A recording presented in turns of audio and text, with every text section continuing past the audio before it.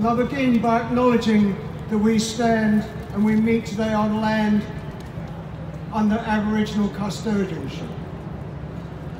This is land from which the Gadigal people were violently dispossessed by people from my country, Britain. The British inspired violence that dispossessed the Gadigal still runs very deep in contemporary Australia. One only has to listen to our new Defence Minister Richard Marles, following in the footsteps of the previous Minister Peter Dutton, who Dutton affirmed that if America goes to war with China, then Australia would inevitably follow. Now, to my mind, this makes Australia a war-obsessed nation. The leaders we've had over the past 60 years have taken us into one futile war after another. We need leaders who will promote peace.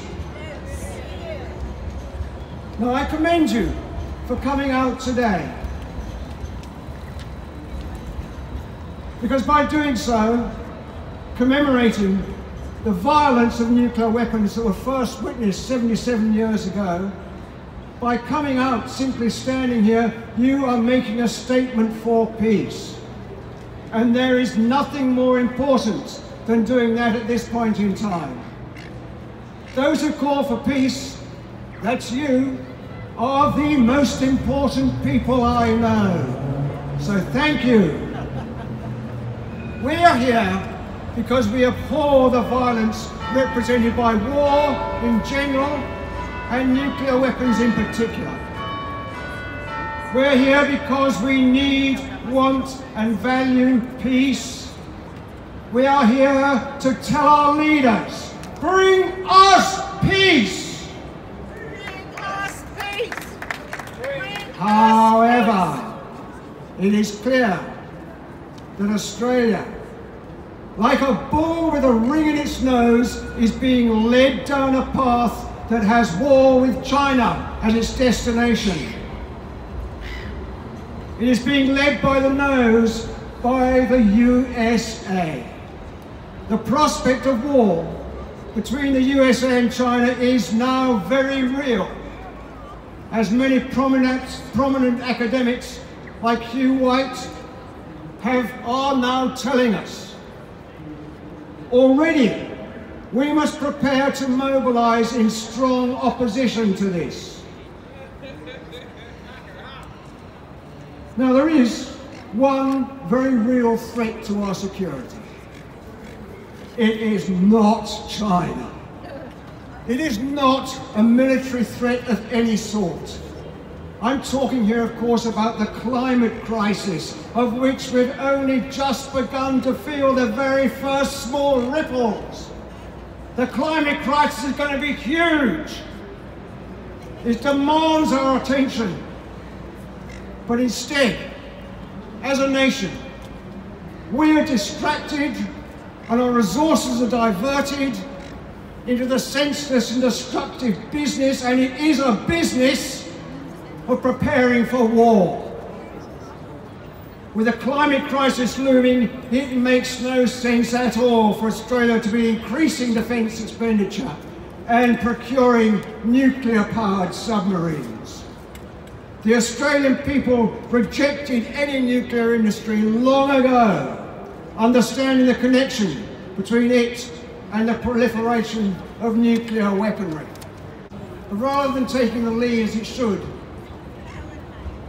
in promoting peace and doing what it can to reduce nuclear proliferation, Australia is now rushing 180 degrees in the wrong direction, rushing to join the nuclear club.